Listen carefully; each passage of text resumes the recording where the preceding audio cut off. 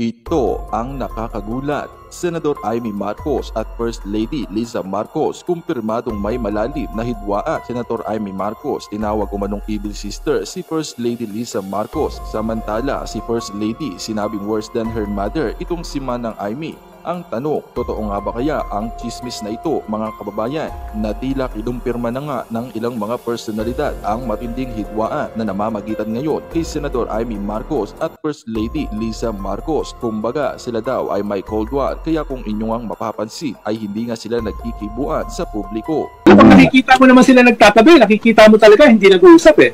Mm, Nagkakatabi sila, no? So, malalim talaga yung away. No? mm, may ganun talaga. Hindi sa kay Amy, worse, uh, the evil sister, ang tingin Mm. naman ni Amy kay Lisa, worse than my mother. No? So, Oo. malalim talaga. No? Oh, at dahil din uh, sa Galaps, within, within the, the administration of PBBM, kasi sinabi rin ni Manang Amy, ano, no? Uh, marami daw mga ahas sa palasyo. Yes. Parang gano'n. Ano yung ibig sabihin ko? Kumakalat nga ngayon eh, sa social media, yung Mm. ahas sa Malacanang. Mm, yan, Tingin ko oo. nanggaling yan dun sa ah, grupo ni Vic Rodriguez, Mm, na tingin niya, tinuklaw siya sa likod Mm. Lisa, at dun sa mga mga DDS na nagagalit kay Bongbong. Mm. Ang pinakalat nila, dalawa. Una, yung ahas sa Malacanang. mm, referring to Lisa. At ikalawa, fake na Marcos loyalist.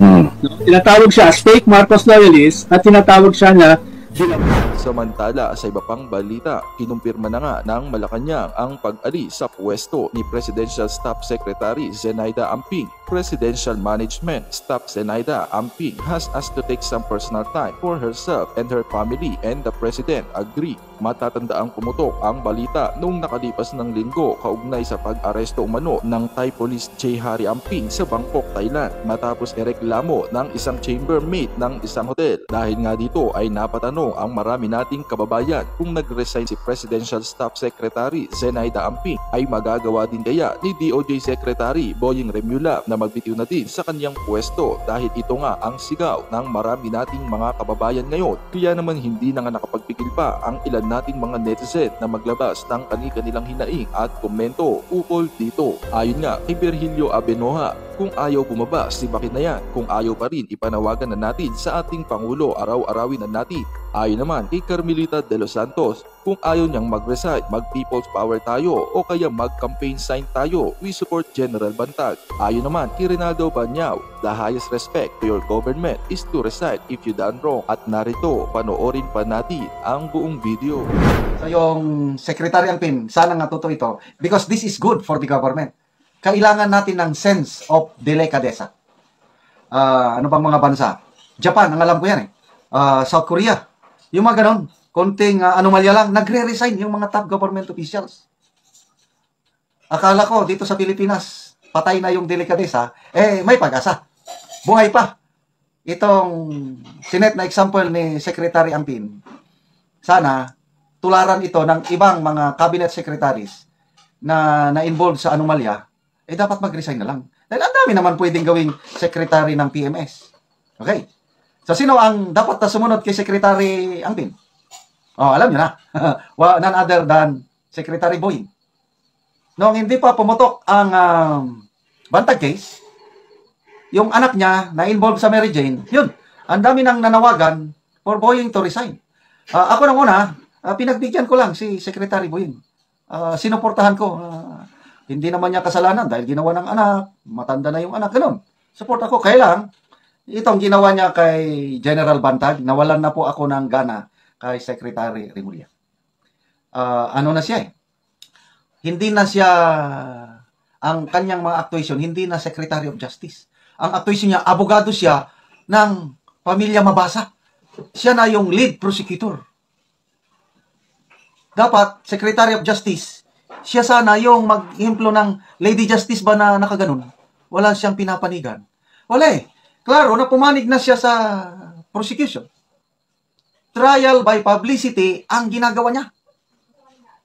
Kaya ako, opinion ko lang ito, na turn off na ako kay Secretary Mulya dahil nasobrahan niya ang pag ah, lean, pag ano, dito sa ano, kinawawa niya si General Bantag. Oh, Kanina, napanood natin yung one uh, yung interview ni Banat Bay at uh, Da- Dado TV kay Secretary uh, Yosek Bantag. Doon, inulit ni Yosek Bantag yung offer niya noon to resign voluntarily.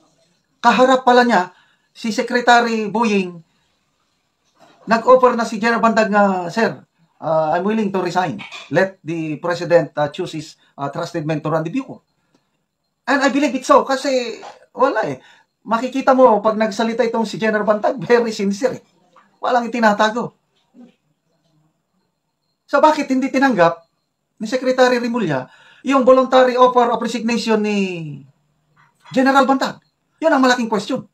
Oh, nakuha ko na. ah, sinagot din ni General Bantag kasi nung umupo na si ah, Secretary Rimulya, itong si General Bantag, nakaka-receive na siya ng negative feedback. feedback.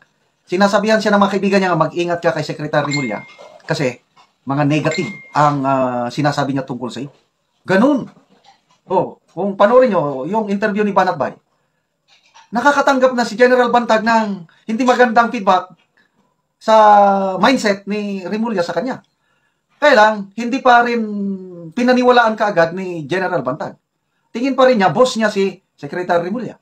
So, inoffer niya ang kanyang resignation, hindi tinanggap. Eh, ngayon, bakit ganun na lang? Ah, kung kinasuhan nila si General Bantag dahil may may nakita na ebidensya, testimony, okay lang yun. Kasi parte yun ng legal process. So, PNP, NBI, nag-imbestiga, may mga nag-submit ng mga pidabits ng mga PDL o inmates, sinasabi si ah, sinito, si Sulweta, then Sulweta, papunta kay Bantag, okay lang yun. Ang hindi lang magandang ginawa ni Boying, yung dada siya ng dada, na sinisiraan niya na si General Bantag sa publiko using the media. Yun ang hindi maganda. Kaya to me, dapat mag-resign na si Secretary Remulla. Susunod na siya. Kung may pagmamahal siya kay PBBM. Kaya lang, I agree with the General Bantag na hindi magre-resign si Boying. Kapit tuko. Kapit tuko sa kanyang posisyon. Eh, anyway, ah sariling desisyon niya na yon. Kaya lang naawa ako kay PBBM habang nandyan si Secretary Rimulya. Secretary Rimulya will pull down PBBM kasi hindi na maitatwa na ang daming mga Pilipinos, hindi lang Cordillerans, lahat na, buong mundo, nakikisimpatya na kay General Bantag. At dahil dito, naawa ako sa ating presidente. Kung mahal ni Secretary Rimulya ang ating gobyerno, si PBBM, dapat sumunod na rin siya kay Secretary Ampin.